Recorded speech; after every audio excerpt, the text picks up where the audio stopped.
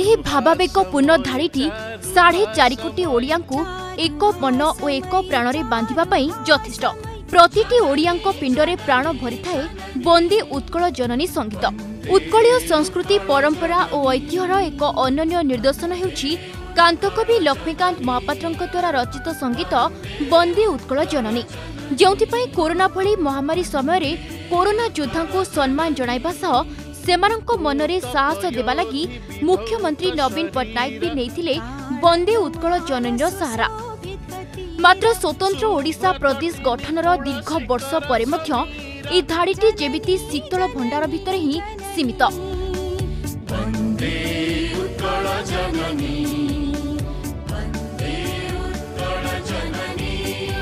ସାଢ଼େ ଚାରି କୋଟି ଓଡ଼ିଆଙ୍କୁ ଏକଜୁଟ କରୁଥିବା ଏହି ସଙ୍ଗୀତ ବର୍ତ୍ତମାନ ପର୍ଯ୍ୟନ୍ତ ରାଜ୍ୟ ସଙ୍ଗୀତର ମାନ୍ୟତା ପାଇପାରିଲା ନାହିଁ। ମୁଖ୍ୟମନ୍ତ୍ରୀଙ୍କ ଆହ୍ୱାନ ପରେ ପୁଣି ଥରେ ତେଜିଛି ବନ୍ଦେ ଉତ୍କଳ ଜନନୀକୁ ରାଜ୍ୟ ସଙ୍ଗୀତର ମାନ୍ୟତା ଦାବି। ସରକାର ତ ମାନ୍ୟତା ଦେଇଦେଲେ କାରଣ ତାଙ୍କ ବିଜ୍ଞପ୍ତିରେ ମୁଖ୍ୟମନ୍ତ୍ରୀଙ୍କ ବିଜ୍ଞପ୍ତିରେ ସ୍ପଷ୍ଟ ଭାବରେ ଲେଖାଯାଇଛି ଯେଉଁଟା ଓଡ଼ିଆ ଭାଷା ଆଇନକୁ ଉଲ୍ଲଙ୍ଘନ କରାଯାଇଛି। ଓଡ଼ିଆ ଭାଷାରେ ଓଡ଼ିଶାର ଶାସନ ପାଇଁ ଆଇନ ପ୍ରଣୟନ ଆଇନ ଉଲ୍ଲଙ୍ଘନର ଦଣ୍ଡବିଧାନ ପାଇଁ ଆଠଶହ ଅଠସ୍ତରୀ ଦିନ ଭାଷା ଆନ୍ଦୋଳନ ପରେ ଓଡ଼ିଶା ବିଧାନସଭାରେ ବିଧେୟକ ଆସିଲା ଦଣ୍ଡବିଧାନ ବ୍ୟବସ୍ଥା ହେଲା। ସରକାର ତାକୁ ପ୍ରତ୍ୟାଖ୍ୟାନ କରି ଇଂରାଜୀ ଭାଷାରେ ବିଜ୍ଞପ୍ତି ଦେଇଛନ୍ତି। ସେ ବିଜ୍ଞପ୍ତିରେ ଲେଖିଛନ୍ତି state anthem Bande Utkala Janani state anthem ତେଣୁ ସିଏ ବୋଧେ ମନ୍ତ୍ରିମଣ୍ଡଳରେ ସୁ- ଗ୍ରହଣ ନ କରି ଘୋଷଣା କରିଦେଇଛନ୍ତି। ଯଦିଚ ପ୍ରକୃତରେ କିନ୍ତୁ ସ୍ୱୀକୃତିପ୍ରାପ୍ତ ନୁହଁ କାରଣ ଯେଭଳି ଭାବରେ ଜାତୀୟ ସଙ୍ଗୀତ ଅବମାନନା କଲେ ଦଣ୍ଡର ବ୍ୟବସ୍ଥା ଅଛି ଏ ଏ ବନ୍ଦେ ଉତ୍କଳ ଜନନୀକୁ ଅବମାନନା କଲେ କେଉଁ ଦଣ୍ଡ ନାହିଁ? କେମିତି ଦଣ୍ଡ ହେବ? ନା ବିଧେୟକ ଆସିବା ଦରକାର? ବିଧେୟକ ସେଇ ଅନୁସାରେ ଆସିକି ଏବଂ ତାହା ମଞ୍ଜୁରୀ ହେବା ଦରକାର ଏବଂ ତାହା ମଧ୍ୟ ରାଜ୍ୟପାଳଙ୍କ ସ୍ୱୀକୃତି ପାଇବା ପରେ ବିଜ୍ଞପ୍ତି ଆକାରରେ ପ୍ରକାଶ ପାଇବା ଦରକାର। ତାହା ହେଇନି। ତୁମେ କହୁଛ ପରା କାଲି ସରକାର କହିଛନ୍ତି ବୋଲି ସରକାର କହିଛନ୍ତି ବୋଲି ସରକାର ନିଷ୍ପତ୍ତି ନ ନେଇକି କହିଛନ୍ତି ନାଇଁ କାଲି କରୋନା ଯୋଦ୍ଧାମାନଙ୍କ ପାଇଁ କରାଯାଇଥିଲା ମୁଁ ଭାବୁଛି ଯେ ଏଇଟା ଅଲରେଡ଼ି ମାନେ ଅଧିକାଂଶ ଜାଗାରେ ବୋଲା ଯାଉଛି। କିନ୍ତୁ ଏ ନିଶ୍ଚିତ ଭାବରେ ବୋଲା ଯାଉଛି ଅନେକ ଜାଗାରେ ବୋଲା ଯାଉନି ଅନେକ ଜାଗାରେ ଅନେକ କଥା କରାଯାଉଛି ଯେତେ ସାଧାରଣ ସଭା ସରକାରଙ୍କ ଦ୍ୱାରା ହେଉ ବେସରକାରୀ ସଂସ୍ଥା ଦ୍ୱାରା ହେଉ ଯେଉଁଟା ତିଆରି ହେବ ସେଥିରେ ଏଇଟା ବୋଲାଯିବା ଉଚିତ। କିନ୍ତୁ ବୋଲାଯିବା ଉଚିତ କହିଲେ କ'ଣ? ପୁରା ଗୀତଟାକୁ ବୋଲାଯିବ ଆରମ୍ଭରେ? ନା ଦୀପଦ ଗାଇଦେଲେ ଯଥେଷ୍ଟ। ଏଇଟା ସ୍ଥିର ହେବା ଦରକାର। ସମସ୍ତେ ସେଇଟା ଫଲୋ କରିବା ଦରକାର। ତାକୁ ଅନୁସରଣ ସେଇ ପ୍ରକାର କଲେ ଯେ ଦୀପଦ ଗାଇବା ହଁ, ତାହେଲେ ଭଲ ହେବ।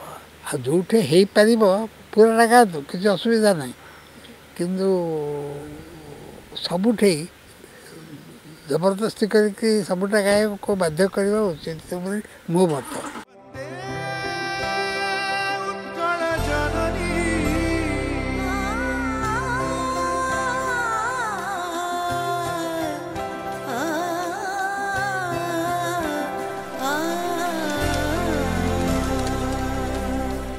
ଆସନ୍ତୁ ନଜର ପକାଇବା ଓଡ଼ିଶା ମାଟିର କୃତିତ୍ୱ ତଥା ଯଶ ଗାନ କରୁଥିବା ବନ୍ଦେ ଉତ୍କଳ ଜନନୀ ସଙ୍ଗୀତର ଇତିହାସ ସମ୍ପର୍କରେ। ଏହି ସଙ୍ଗୀତକୁ ରଚନା କରିଥିଲେ କାନ୍ତକବି ଲକ୍ଷ୍ମୀକାନ୍ତ ମହାପାତ୍ର। ଉଣେଇଶହ ଚଉରାନବେ ମସିହାରେ ଯୁଧିଷ୍ଠିର ଦାସ ବାଚସ୍ପତି ଥିବାବେଳେ ବନ୍ଦେ ଉତ୍କଳ ଜନନୀକୁ ବିଧାନସଭା ଅଧିବେଶନର ଆରମ୍ଭ ଓ ଶେଷ ଦିନରେ ଗାଇ ସମ୍ମାନ ଦେବା ପାଇଁ ନିଷ୍ପତ୍ତି ହୋଇଥିଲା।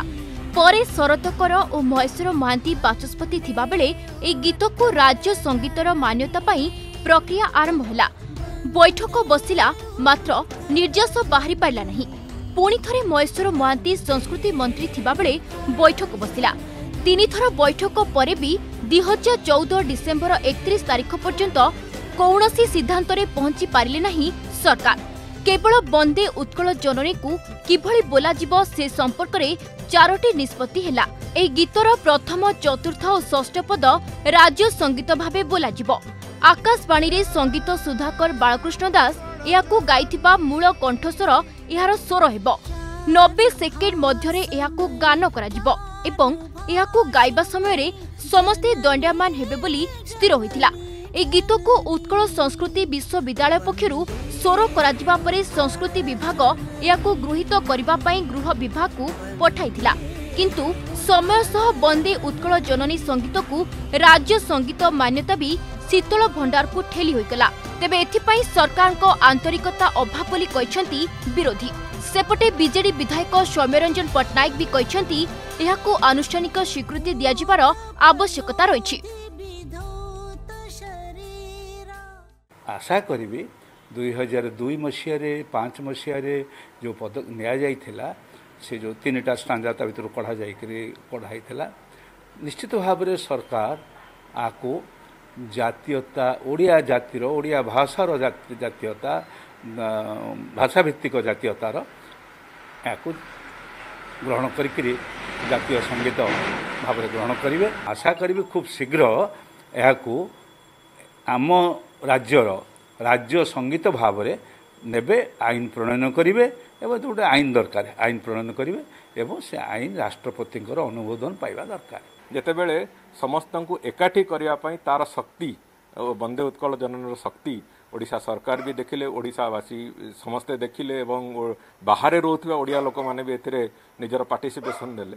ସେ ଦୃଷ୍ଟିକୋଣରୁ ରାଜ୍ୟ ସରକାର ଏବେ ଗୁରୁତ୍ୱର ସହିତ ବିଚାର କରିବାର ଆବଶ୍ୟକତା ଅଛି ଯେ ବନ୍ଦେ ଉତ୍କଳ ଜନନୀକୁ ଏକ ମାନ୍ୟତା ଦେବା ପାଇଁ ପ୍ରଦେଶର ସଙ୍ଗୀତ ହିସାବରେ ଏକୁ ମାନ୍ୟତା ଦେବା ପାଇଁ ରାଜ୍ୟ ସରକାର ତୁରନ୍ତ ନିଷ୍ପତ୍ତି ନେବାର ଆବଶ୍ୟକତା ଅଛି। ମୁଁ ଅନୁରୋଧ କରୁଛି ଓଡ଼ିଶାର ସରକାରଙ୍କୁ ଏ ବାବଦରେ ତୁରନ୍ତ ଏକ ଯଦି ପଦକ୍ଷେପ ନିଅନ୍ତେ ଓଡ଼ିଶା ପ୍ରଦେଶରେ ଯେଉଁଭଳି ଭାବରେ ସମସ୍ତଙ୍କ ମନରେ ଗୋଟେ ବିରାଟ ପ୍ରଶ୍ନବାଚୀ ଏବଂ ବିରାଟ ସନ୍ଦେହର କୁହେଳିକା ଅଛି ଦୀର୍ଘଦିନ ଧରିକି ସମସ୍ତଙ୍କ ମନରେ ସେ ଯେଉଁ ବ୍ୟଥା ଅଛି ସେ ବ୍ୟଥାର ଉପଶମ ହୋଇପାରିବ ଏବଂ ଆଗାମୀ ଦିନରେ ସେ ନିଶ୍ଚିତ ଭାବରେ ଆମ ସମସ୍ତଙ୍କ ପାଇଁ ଏକ ଇନ୍ସପିରେସନର ବିଷୟବସ୍ତୁ ଅନ୍ୟ କୌଣସି ଦୃଷ୍ଟିରୁ ବିବାଦ ଆପଣ କରିପାରନ୍ତି? ସମସ୍ତଙ୍କର ଅଧିକାର ଅଛି ସମସ୍ତଙ୍କର ମତ ପୋଷଣ କରିବେ ଏବଂ ପଶ୍ଚିମ ଓଡ଼ିଶାର କିଛି ଭାଇମାନେ ମଧ୍ୟ ଏହାକୁ ସହଜରେ ଗ୍ରହଣ କରି ପାରୁନାହାନ୍ତି ସେମାନଙ୍କର ଯୁକ୍ତି ମଧ୍ୟ ଅଛି। କିନ୍ତୁ ମୋର ଦୃଷ୍ଟିକୋଣ ସମ୍ପୂର୍ଣ୍ଣ ଭିନ୍ନ।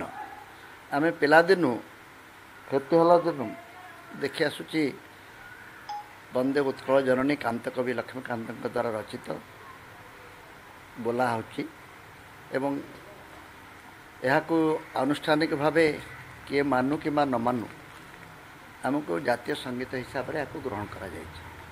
ମୁଁ କିନ୍ତୁ ଆଜି ଆପଣମାନଙ୍କ ମାଧ୍ୟମରେ ସମସ୍ତଙ୍କୁ ନିବେଦନ କରିବି ଏବଂ ନବୀନ ପଟ୍ଟନାୟକଙ୍କୁ କୃତଜ୍ଞତା ଏବଂ ଅଭିନନ୍ଦନ ଜଣାଇବି ଏଇଥିପାଇଁ। ବିଳମ୍ବରେ ହେଲେ ମଧ୍ୟ କାର୍ଯ୍ୟସିଦ୍ଧି ହେଲା ଭଳି। ଏହାଦ୍ୱାରା ଗୋଟିଏ ସାମଗ୍ରିକ ଭାବରେ ଏଇ ଗାନ ପ୍ରତି ଆମର ସମସ୍ତଙ୍କର ଦୃଷ୍ଟି ଆକର୍ଷଣ ହେଇଛି। ଏ ସବୁ ଘଟଣା ପରେ ପ୍ରଶ୍ନ ଉଠିବା ସ୍ୱାଭାବିକ।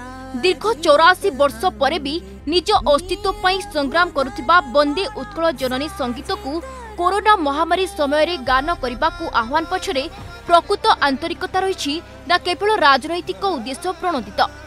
भुवनेश्वर क्यामेरा पर्सन सनातन बेहेराका कविता स्वाई र Dibyajyoti Mohanta report the Argus